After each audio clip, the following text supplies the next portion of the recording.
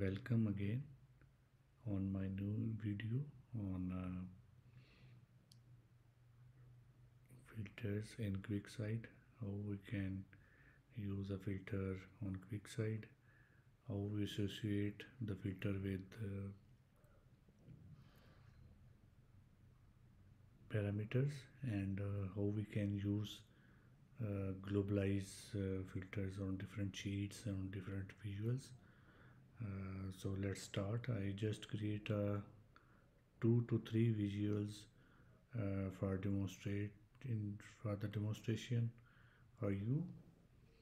Uh, one is uh, you can see the region wise product detail and here is a detail table of uh, containing the complete detail of sale records. You can see here order date order id date order party name product region state and city and country. And on the next sheet you can see here the complete detail about the customer the customer name order date category shipment date region and state. Uh, these are the sample data.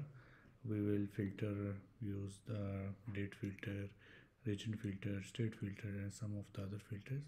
So let's start with the date filter and uh, uh, uh, let me show you how we can use uh, add the filter. Just click on the any visual. Uh, you can see here the filters and the parameters. Parameter actually used to make the globalize uh, or uh, multiple uh, you can use the, the filter on multiple sh sheet by using the filter. So we first start with the parameter uh, create let me enter uh, let's say start date. The parameter name is start date. We need to change here uh, actually we are mm, creating a date filter so we need to select the date and time. And time granularity is day. And uh, our data set is starting from let's say uh, 2012 Jan I create a default date. Actually our filter will uh, start uh, by using this parameter. We uh, set its name is start date. Mm, create this one. Yeah one thing please note uh, we don't we cannot use the underscore here we just enter the numeric uh, text value p start date create. And uh, we need another parameter uh, for the closing date. So we will add another parameter. We can uh, set its name uh, end date parameter and just uh, select the date and time. And time granularity I, I, I will use the day and you can use any other thing but uh, at right now we can use date and the end of uh, our data. Let's say I am setting it's December 30 one you can set uh, whatever you want here and create the parameter. Uh, right now we just create uh, two parameter. One is the start date and other one is the end date. Uh, we are not just associating with this uh, individual. We are just creating simply two parameters with the data types. Let's start to associate it with filters I just and just click on the filter create filter and choose. I uh, we want to create a filter on order date. You can select any other date or other uh, uh, fields which uh, based on your requirement. So I am just uh, selecting order date and you see here there are uh, icon uh, just only one is grayed and other is other three is null. Uh, uh, let me tell you first about it. The one single sign is uh, showing that we our filter will work on only this visual. We are currently selecting the region wise product visual and uh, we can use it some visuals. There are two visuals on this table uh, sheet. First is the region wise and otherwise the sales if we want to implement on both the uh, visual we can select it sale and apply. And the other option is all visual on this dataset if there are multiple datasets on the sheet and you are just specifying this filter uh, for the specific sheet. So uh, you will select uh, this option. Otherwise if you want to use this filter for all the sheets available in this analysis you can choose the last one.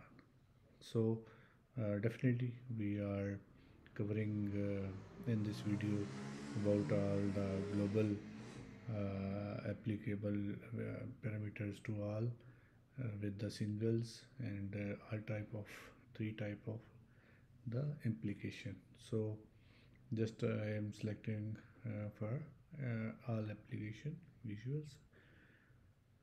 And uh, here you can see there are, are different conditions available for the filter between after before and equal right now we are just using uh, filter between use the parameter. We already created in uh, right couple of minutes back. So I am selecting here the page start date. It will set the start date. And the end date. I am just uh, checking uh, this uh, checkbox to include the last date and the first date. And apply this.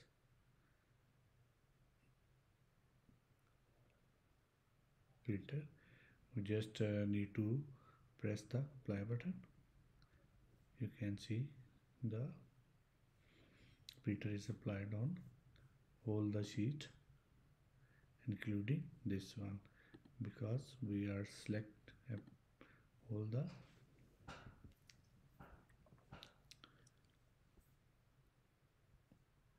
the uh, applicable uh, visual to all the sheets. So this is uh, there are the second step. First we create the parameter and uh, other one we just uh, associate with the date parameters. And uh, we can you can enable disable uh, this parameter you can edit this parameter and delete the uh, filter. So these are the three things we can use right uh, based on our uh, situation. Uh, you can another condition by using add filter condition. Let's say you use this filter and the city based on the city uh, yeah or you can use the customer id and another field. This will create an other condition. Mm, actually this condition will be make the start date and end date or city is equal to this one. So the filter will be applicable on the uh, multiple conditions if you want to use it. And let's move uh, uh, next to show uh, add this filter on this sheet. I just applied this and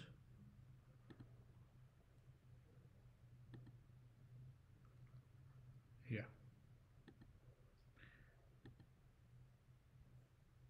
We uh, just go uh, forward to the parameters and select the start date add control. Display control name. The start date.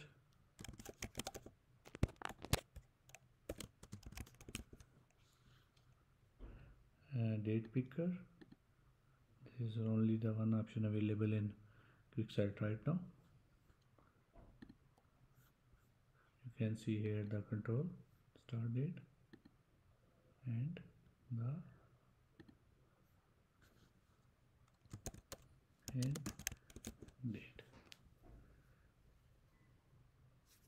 just we uh, select the parameter and add the controls on this sheet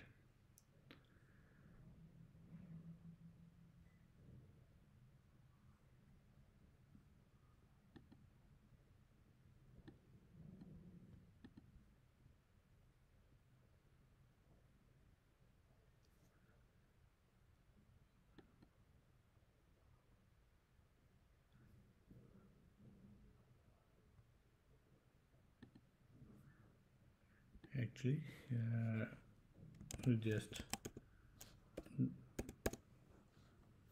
wrongly added the name. And the start date to end date and end date to start date so we are just renaming it. And it it's an it should be an end date as the parameter name apply. So just remove it and add it. Add this control once again. And date. Add. So here is my filter. Let's test it out. Is it worked or not? Just I select any date. You see here the data is changed and all the figures are revised. Just we reduce my date once again. Yeah. You can see here the data. We are filtering based on the date filter. So uh, let's move into the customer and add this control on this let's name it. Start date.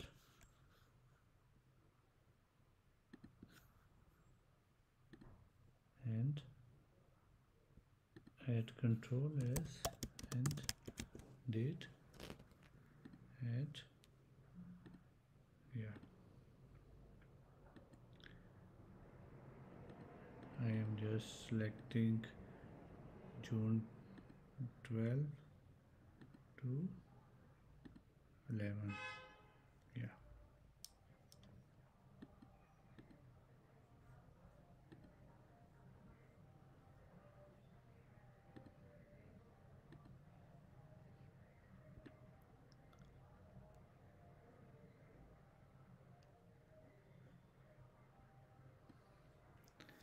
Here I'm just creating a filter on order date as we previously created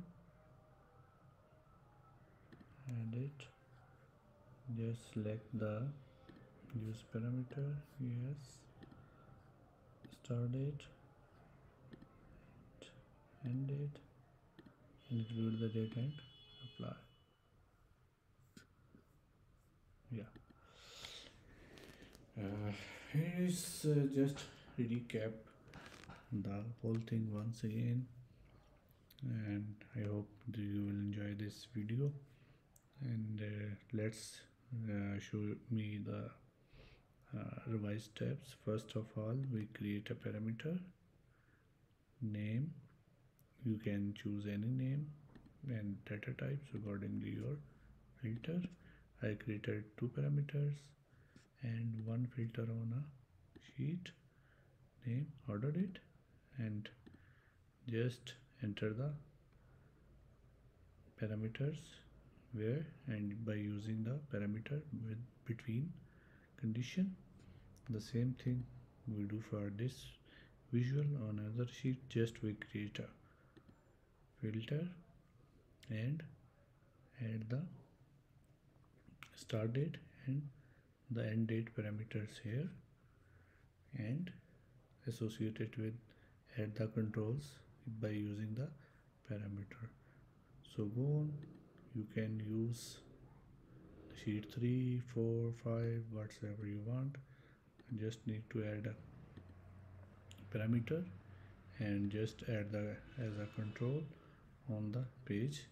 It will work globally. Let me delete this one.